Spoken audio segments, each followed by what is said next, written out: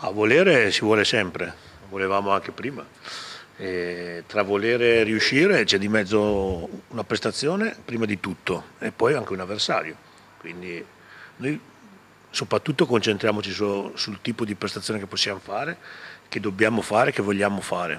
Poi chiaramente si passa anche dall'avversario che è un avversario in questo momento da prendere non con le pinze ma con 10 pinze perché è quasi paradossale la situazione del Gubbio in questo momento qua perché io ho visto le ultime partite, è una squadra che di fatto ha perso sempre eh, avendo tantissime occasioni da gol e concedendo pochissimo quindi questi sono un po' dei, degli alti e bassi all'interno di una stagione che capitano a tutti, scappiate anche a noi, di periodi in cui magari costruisci di più e raccogli di meno, viceversa.